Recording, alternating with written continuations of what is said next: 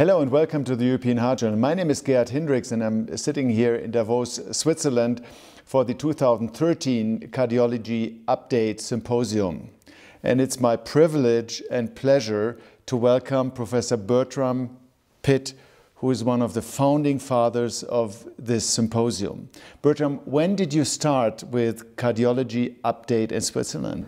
Well, in we began planning this somewhere around 1973. I was at Johns Hopkins University at the time in the cardiology division, and I spoke to my chief, Dr. Richard Ross, about putting on a course in Switzerland, and he said fine. And he had a former fellow, Dr. Paul Lichtlen, who was from Zurich but had returned to Europe, and I think we had the first course in 1975.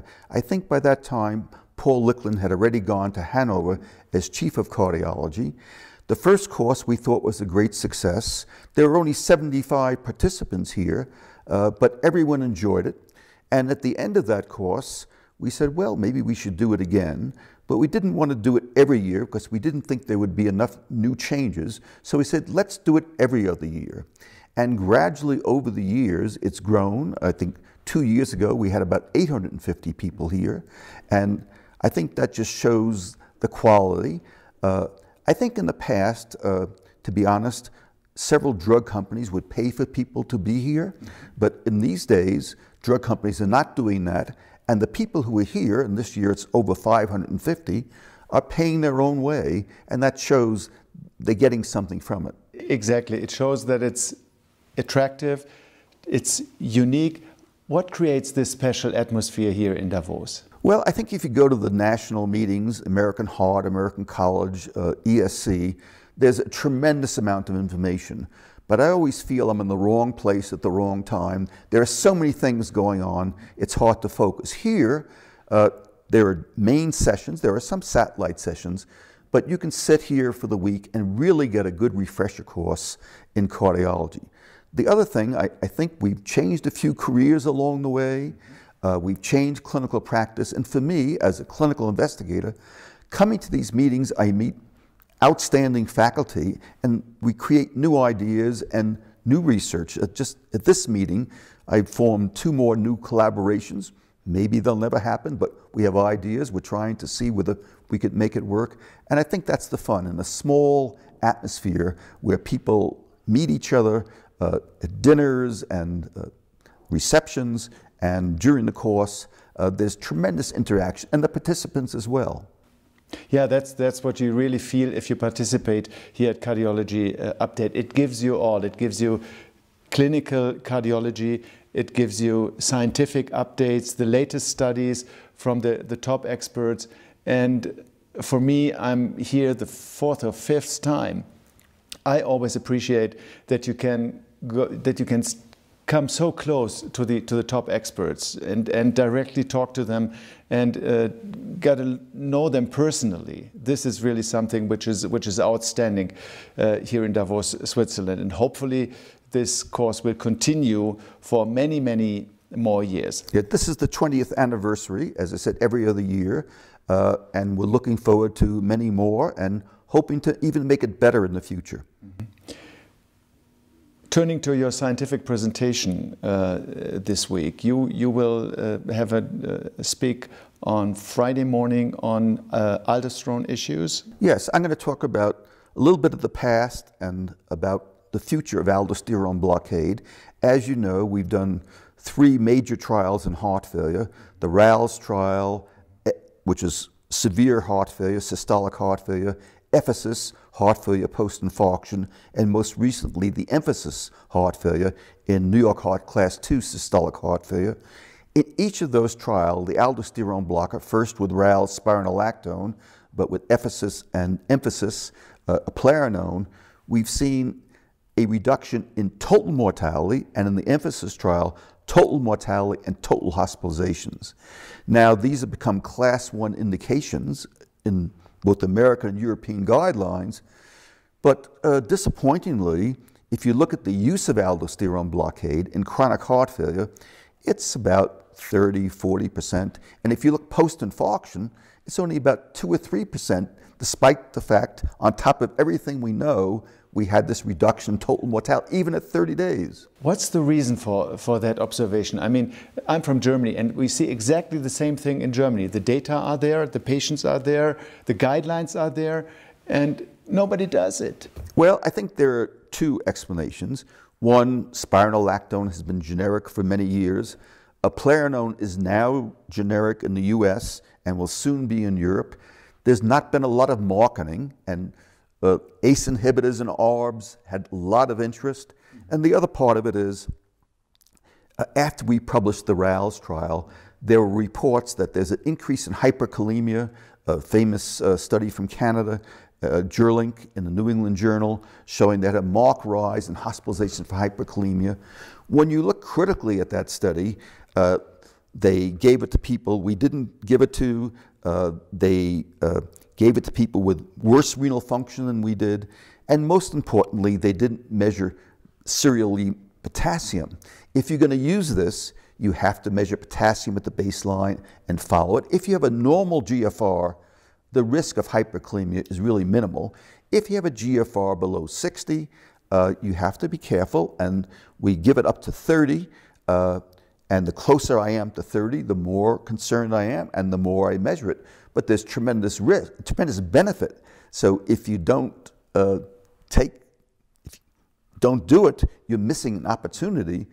And we've seen this on top of every drug, defibrillators, PTCA, it, it works. So I think this is a tremendous opportunity to further reduce cardiovascular risk, not by developing a new drug, but just using what we already have.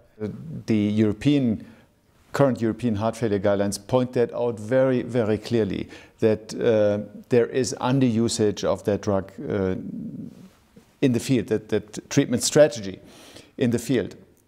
Looking ahead, what do you see at the horizon? What are the next steps to go in the field of aldosterone antagonists? Well, first of all, this fear of hyperkalemia, we are working with a new potassium binding polymer that we've shown in early studies uh, prevents hyperkalemia.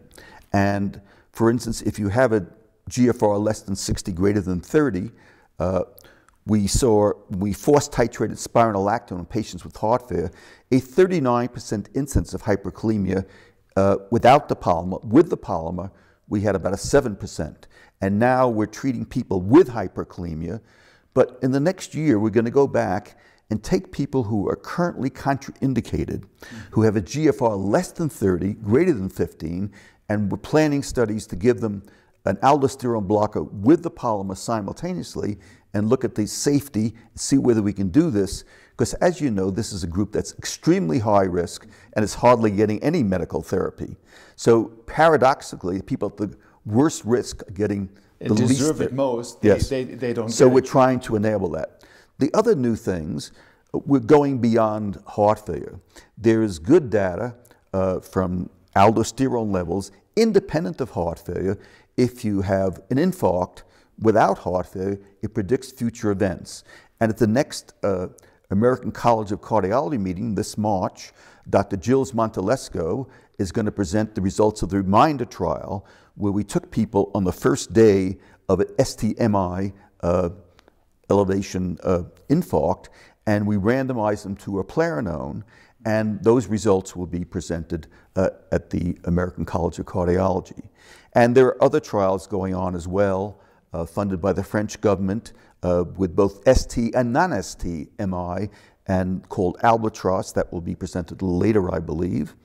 And then uh, we see in the future that we know that aldosterone blockade has been useful in resistant hypertension, but one of the real things in the future is people with obesity. You know the epidemic we have of obesity, but the adipocyte stimulates the production of aldosterone, and there's local production. So we're beginning to believe that in people who have obesity and the metabolic syndrome, that an aldosterone blocking agent will be important. Aldosterone changes the relationship between visceral and subcutaneous fat and also changes brown fat, which is good, it makes, makes it dysfunctional. It can't produce heat and increases inflammatory cytokines. So we need prospective trials. I think uh, because we're dealing with generic drugs, that's difficult to get funding. But on the horizon, a new non-steroidal aldosterone blocking agents. We're working with the Bayer company uh, for a new agent. We've uh, published the design of a trial called ARTS, and we'll soon be reporting this results of the first phase two trial uh, against spironolactone and placebo, looking at doses. There'll be other phase two trials, but eventually, uh, I think the animal studies suggest that these drugs at least have at least as good an effect on the heart, but less hyperkalemia. We'll have to see how the human results come out. And then there's good data suggesting not just uh, infarction, but people with coronary artery disease, high levels of aldosterone predict events. So eventually, I think we're going to be looking at people with coronary artery disease. There's also data that we can affect atherosclerosis, at least early atherosclerosis. We've seen in our own studies, lipid-fed rat, rabbits, we prevent atherosclerosis. Several groups have looked at the ApoE knockout mouse and seen that we uh, decrease inflammatory cytokines and change monocytes from the inflammatory to the anti-inflammatory type, decrease oxidative stress. So I, I think there's a great future for aldosterone blocking if we can learn to give it safely and convince people that it is safe and good. So there are many, many studies in the pipeline. There, there are huge expectations at the horizon. Thank you very much for giving us this historical uh, view back to the, to the roots of this Congress and sharing with us the latest news on aldosterone antagonism. And I'm very positive and looking forward to talk to you again in well, 2015. I hope, here in 2015 to talk to you again. For the, for the next uh, edition. Right, the 21st. The 21st edition of the Cardiology Update here in Davos, Switzerland. Thank you so much for staying with us this afternoon, Bernd